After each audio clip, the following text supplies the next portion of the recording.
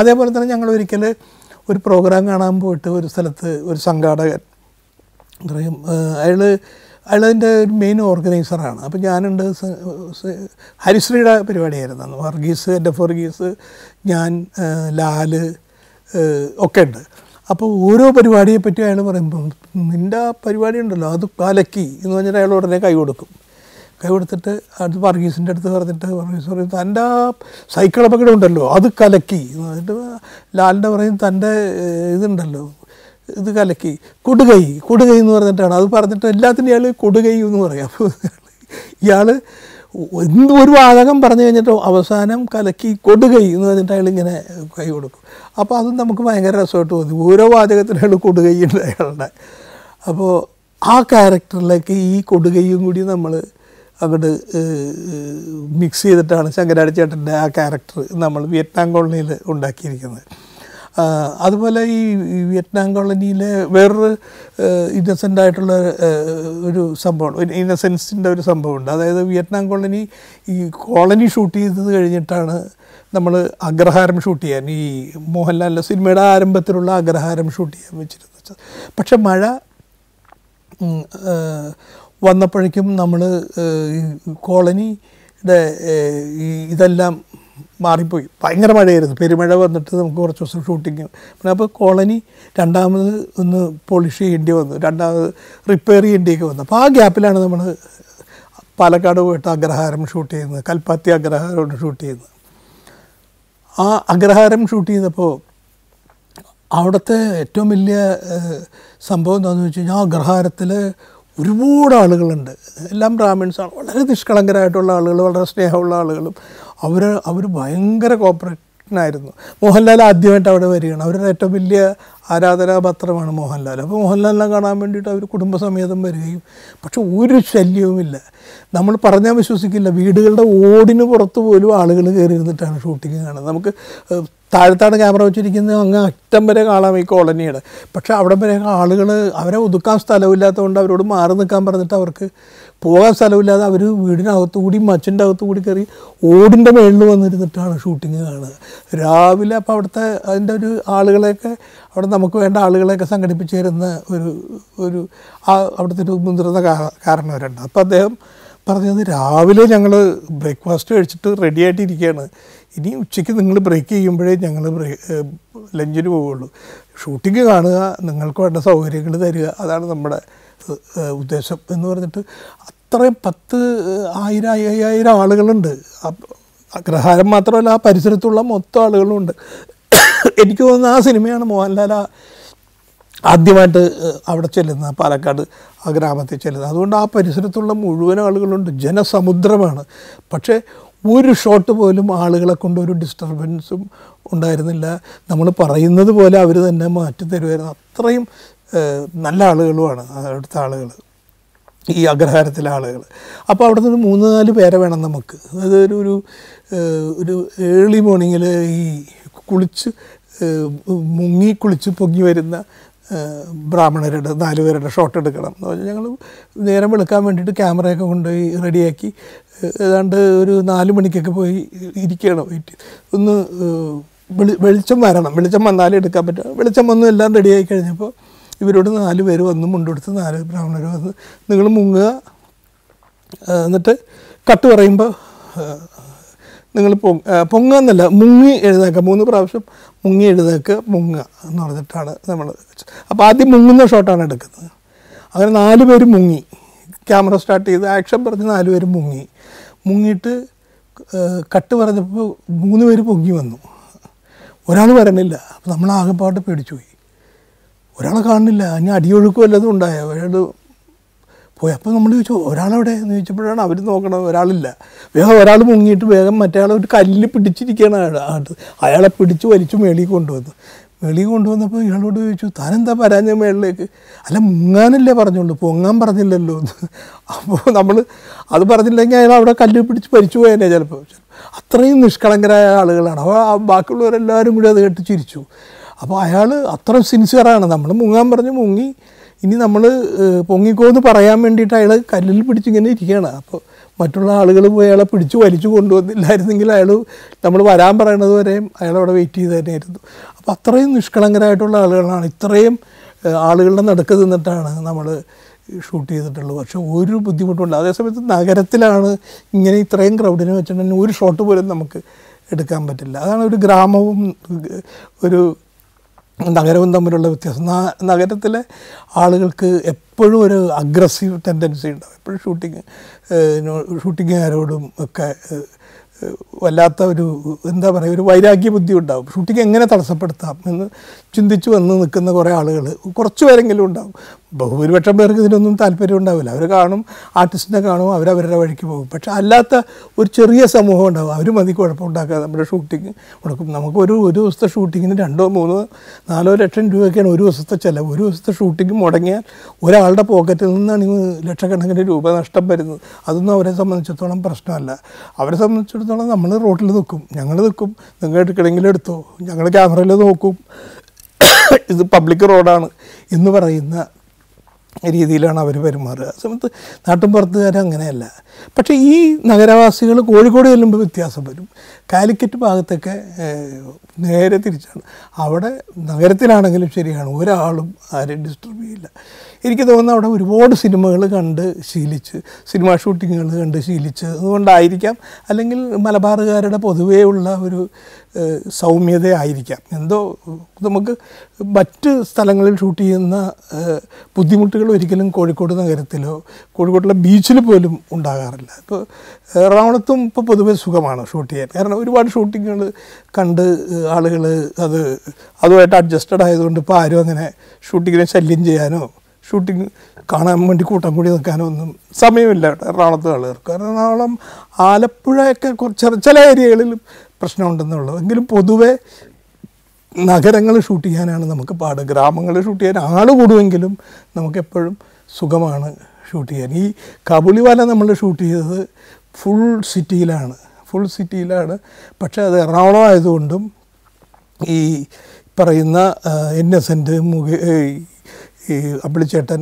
പിന്നെ ഈ ഈ ഈ വിനീത് പോലുള്ള കൊച്ചു കൊച്ചു ആർട്ടിസ്റ്റുകൾ ആയതുകൊണ്ടും വലിയ ശല്യമില്ലാതെ ഒരു ബുദ്ധിമുട്ടുമില്ലാതെ നമുക്ക് ഷൂട്ട് ചെയ്യാൻ സാധിച്ചു. ഒരു സ്റ്റാർ ഇപ്പം മമ്മൂക്ക ഇപ്പം മമ്മൂക്ക ലാലോ എറണാകുളത്ത് വന്നാലും വലിയ ബുദ്ധിമുട്ടൊന്നും ആളുകൾക്ക് ആളുകൾ നമുക്ക് തരില്ല. എറണാകുളം പൊതുവെ ഇപ്പോൾ ഷൂട്ടിങ് കണ്ട് കണ്ട് അത് മാറിപ്പോയിട്ടുണ്ട്.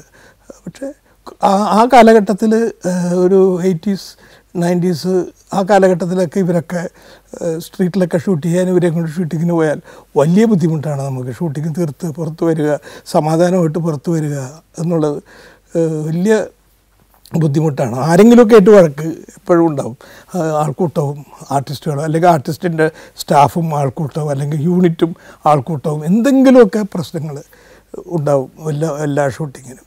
അപ്പോൾ ഒരു ഒരു ഷൂട്ടിംഗ് ഒരു സിനിമയുടെ ഷൂട്ടിംഗ് എന്ന് പറയുന്നത് ഒരുപാട് പ്രശ്നങ്ങൾ. ഈ കഥയ്ക്കകത്ത് തന്നെ നമുക്ക് ഒരുപാട് കാര്യങ്ങൾ ചെയ്ത് തീർത്ത് ആളുകളെ രസിപ്പിക്കാൻ വേണ്ടിയിട്ട് ഉണ്ടാക്കുന്ന ഈ സാധനത്തിനകത്ത് ബാഹ്യമായ ഒരുപാട് പ്രഷറുകൾ ഒരുപാട് അവർക്ക് ഒരു ഗുണവുമില്ല നമ്മൾ ഉപദ്രവിച്ചിട്ട്. പക്ഷേ എങ്കിലും അവരിൽ നിന്നൊക്കെ നമുക്ക് ഒരുപാട് ബുദ്ധിമുട്ടുകളും ഒക്കെ സഹിച്ചിട്ടാണ് നമ്മളൊരു സിനിമ മുന്നോട്ട് കൊണ്ടുവരുന്നത്. ആ സിനിമയെ കൊണ്ടുവന്ന് തിയേറ്ററിൽ എത്തിച്ച് അത് വിജയിപ്പിക്കുന്നത് വരെ നമ്മൾ കണ്ണിലെണ്ണ ഒഴിച്ച് നോക്കിയിരിക്കുന്നു എന്ന് പറയുന്ന പോലെയാണ് ഒരു സിനിമയുടെ പിന്നിൽ നമ്മൾ പ്രവർത്തിക്കുന്നത്. ഞങ്ങൾ മാത്രമല്ല മലയാള സിനിമയിൽ നിന്ന് മാത്രമല്ല എല്ലാ സിനിമയിലും എല്ലാ സിനിമാ പ്രവർത്തകരും അങ്ങനെയാണ് ചെയ്യുന്നത്. അതുകൊണ്ട് പബ്ലിക്ക് ഇപ്പോൾ കുറേ മാറ്റങ്ങൾ വന്നിട്ടുണ്ട്. ഒരുപാട് മാറ്റങ്ങൾ വന്നിട്ടുണ്ട്. അന്ന് ഒരുപാട് ബുദ്ധിമുട്ടായിരുന്നു നമുക്ക് ഒരു പബ്ലിക് പ്ലേസിൽ ഷൂട്ട് ചെയ്യുക എന്നത്. എന്നാൽ ഈ ഈ വിയറ്റ്നാം കോളനി സെറ്റായിരുന്നു. അടുത്ത സെറ്റ് എന്ന് പറയുന്നത് ഈ ഗ്രഹണമായതുകൊണ്ട് അതും നമുക്ക് പ്രശ്നമല്ലായിരുന്നു ഇത് ഫുൾ നഗരത്തിന്റെ നടുക്കാണ് ഈ പറയുന്ന ഈ കാബുളിവാല ഷൂട്ട് ചെയ്തത്. പക്ഷേ ചെറിയ ആർട്ടിസ്റ്റുകളും എറണാകുളം നഗരവും ആയതുകൊണ്ടും വലിയ ബുദ്ധിമുട്ടുകളൊന്നുമില്ലാതെ ഭംഗിയായി ചിത്രീകരിച്ചു. അതും വലിയ ഹിറ്റായ ഒരു സിനിമയായിരുന്നു കാബുളിവാല.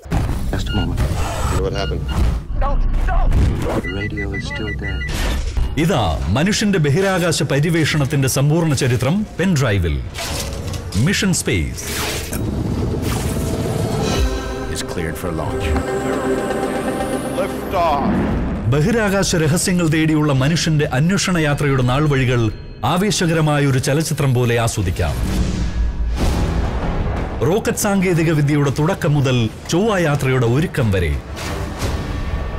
സഫാരി ചാനലിൽ ഇരുന്നൂറ്റിയഞ്ച് എപ്പിസോഡുകളായി അവതരിപ്പിച്ച പരിപാടി രണ്ട് പെൻ ഡ്രൈവുകളിൽ. ലേക്ക എന്ന നായയുടെ ബഹിരാകാശ യാത്ര. യൂറി ഗഗാറിൻ ബഹിരാകാശത്ത്. ചന്ദ്രനിലേക്കുള്ള മനുഷ്യയാത്രകൾ. ബഹിരാകാശ നിലയങ്ങളുടെ നിർമ്മാണവും പ്രവർത്തനവും. ബഹിരാകാശ നടത്തം. ചന്ദ്രയാൻ ഉൾപ്പെടെ ഇന്ത്യയുടെ ബഹിരാകാശ ദൗത്യങ്ങൾ. കൊളംബിയ സ്പേസ് ഷട്ടിൽ ദുരന്തം. നൂറ് നൂറ് സംഭവങ്ങൾ. Mission space. കുട്ടികൾക്കും മുതിർന്നവർക്കും ഒരുപോലെ ആസ്വദിക്കാവുന്നത്. സ്കൂളുകൾക്ക് ഇതൊരു അമൂല്യ നിധി. വിദ്യാർത്ഥികൾക്ക് അറിവിന്റെ ശേഖരത്തിലേക്ക് വലിയൊരു മുതൽക്കൂട്ട്. We have a more important mission now. Mission space രണ്ട് പെൻഡ്രൈവ് വോള്യങ്ങൾ. ഉടൻ സ്വന്തമാക്കാൻ triple nine five triple four triple two എന്ന നമ്പറിലേക്ക് എം എസ് എന്ന് എസ് എം എസ് ചെയ്യൂ. എം എസ് എന്നീ രണ്ടക്ഷരങ്ങൾ മാത്രം. കാബൂളിവാലയാണ് സിദ്ദിഖ് ലാൽ എന്ന എസ്റ്റാബ്ലിഷ്മെന്റിൽ അവസാനം വരുന്ന സിനിമ കാബൂളിവാലയോടുകൂടിയാണ് ഞങ്ങൾ പിരിയുന്നത്. അത് കഴിഞ്ഞിട്ട് അടുത്ത പടം ചെയ്യുന്ന ആ സന്ദർഭത്തിലാണ് അതിന്റെ ആലോചന ഘട്ടത്തിലാണ് പിരിയുന്നത്. ഏതാണ്ട് ഒരുമിച്ച് ചെയ്യാമെന്നുള്ള ഒരു മമ്മൂട്ടി ചിത്രം ചെയ്യാമെന്നുള്ള ആലോചന ഘട്ടത്തിലാണ് മമ്മൂക്കയോട് പറയുകയും മമ്മൂക്ക അത് സമ്മതിക്കുകയൊക്കെ ചെയ്ത് നിൽക്കുന്ന സമയത്താണ് ഞങ്ങൾ തമ്മിൽ പിരിയുന്നത്.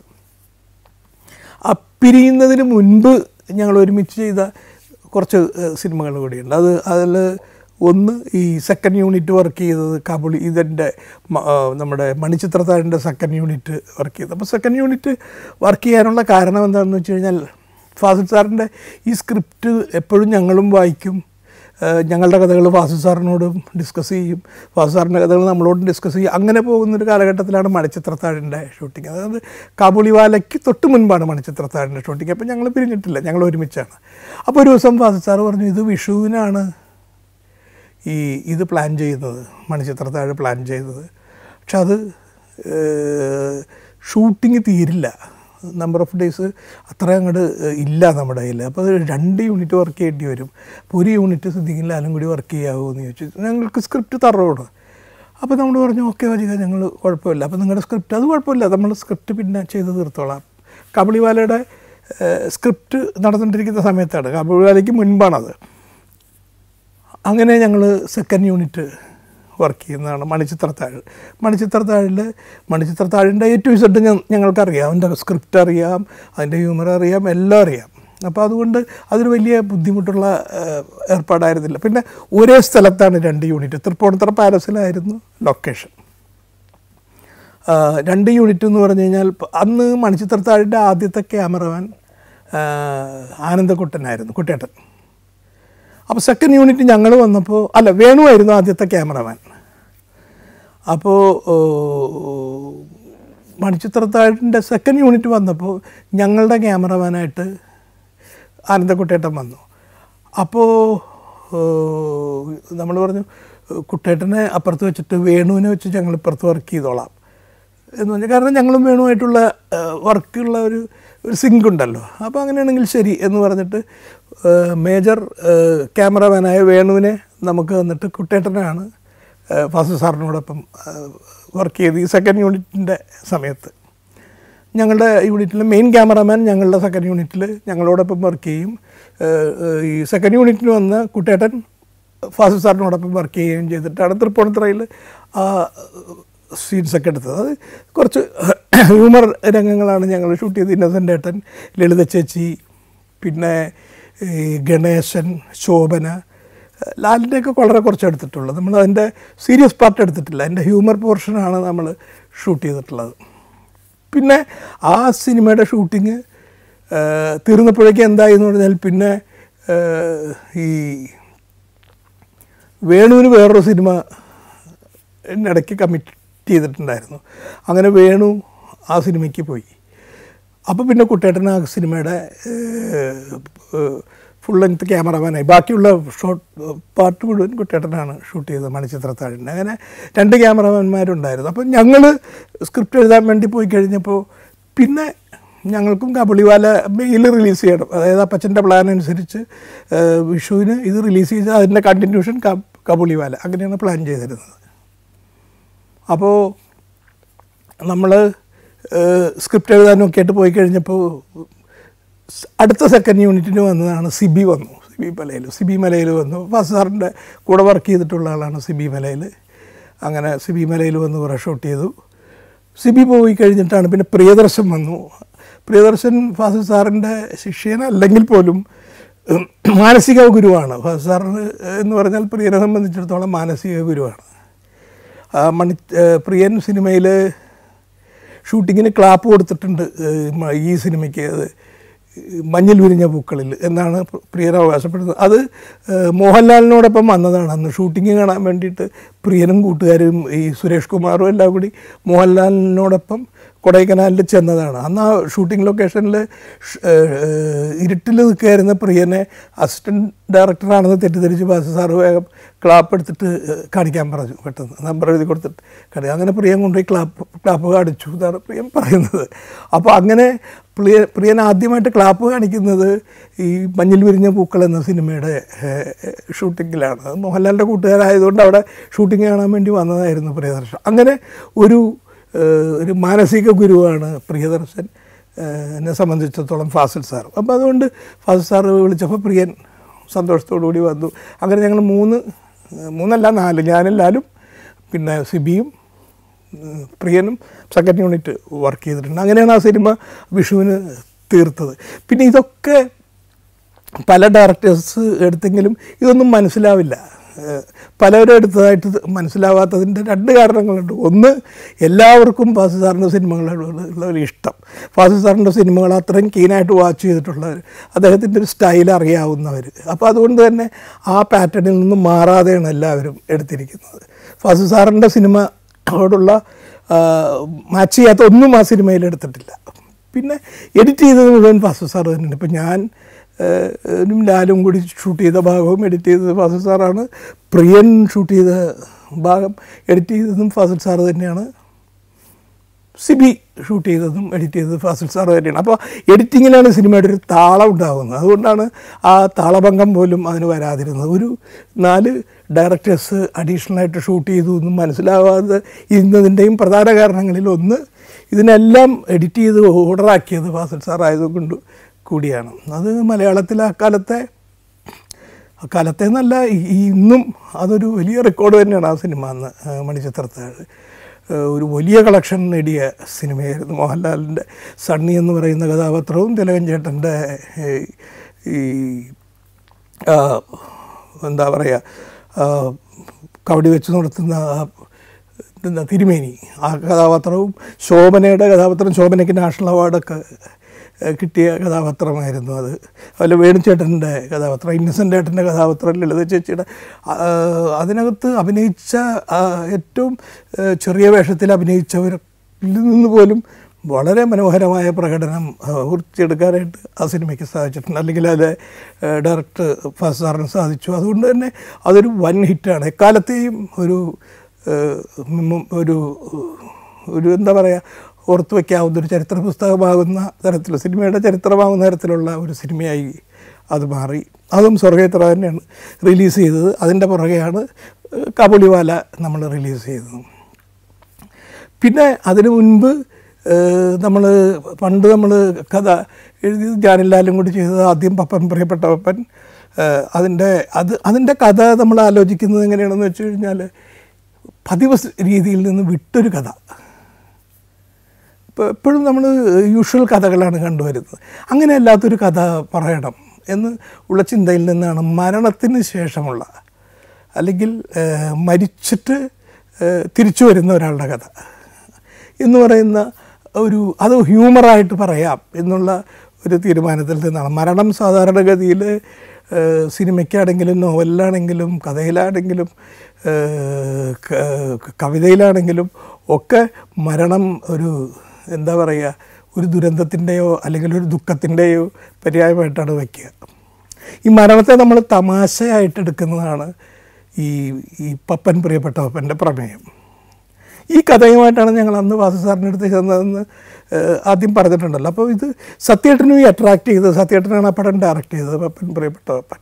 അപ്പോൾ മരണം തമാശയായിട്ട് അവതരിപ്പിക്കുകയും ആ മരണത്തിലുണ്ടാകുന്ന തമാശകൾ ഒരാൾ മരിക്കാൻ ഒരു ഒരു കൂട്ടം ആളുകൾ ആഗ്രഹിക്കുന്നു എന്ന് പറയുന്ന വളരെ രസകരമായ ഒരു കഥയിലേക്കും ഒക്കെ ആയിട്ട് അതിനകത്തൊരു ചെറിയൊരു ക്രൈം സ്റ്റോറിയിലേക്കും ഒക്കെ പോകുന്ന ഒരു രസകരമായ കഥയായിരുന്നു. അത് എനിക്ക് തോന്നുന്നത് ആ കാലഘട്ടത്തിൽ വന്നു പോയത് കൊണ്ടാണ്. ഇന്നായിരുന്നു അത്ര ഒരു സിനിമയെങ്കിൽ വലിയ വിജയം അതിനുണ്ടാകുമായിരുന്നു അന്ന് മരണത്തെ ആരും തമാശയായിട്ട് കാണാൻ ഇഷ്ടപ്പെടുമായിരുന്നു. ഇഷ്ടപ്പെടുന്ന ഒരു കാലഘട്ടമല്ലായിരുന്നു ആ കാലഘട്ടം. അതുകൊണ്ടൊക്കെ ആയിരിക്കാം അത് അന്നത് വലിയ സിനിമ സക്സസ്സും ആയില്ല.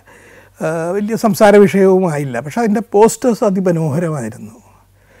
ഗായത്രി അശോകനാണ് അതിന്റെ പോസ്റ്റേഴ്സ്. ചെയ്തത് പോസ്റ്റേഴ്സ് കണ്ടിട്ട് ജനങ്ങളെല്ലാം കൂടി ഇടിച്ചു കയറി. ഇടിച്ചു കയറിയിട്ട് ജനം അത്രയും തൃപ്തരല്ല.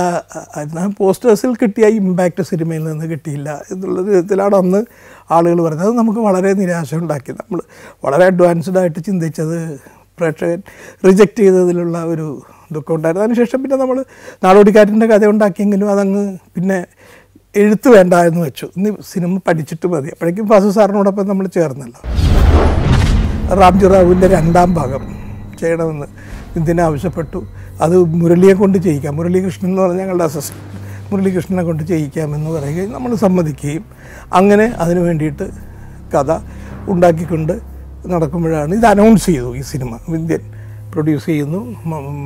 റാംജു റാവുവിന്റെ രണ്ടാം ഭാഗം വരുന്നു. അത് മാനാർമത്ത ഹൈ സ്പീക്കിംഗ് എന്ന് പേരിട്ടിട്ടില്ല. ആ അനൗൺസ്മെന്റ് വന്നപ്പോൾ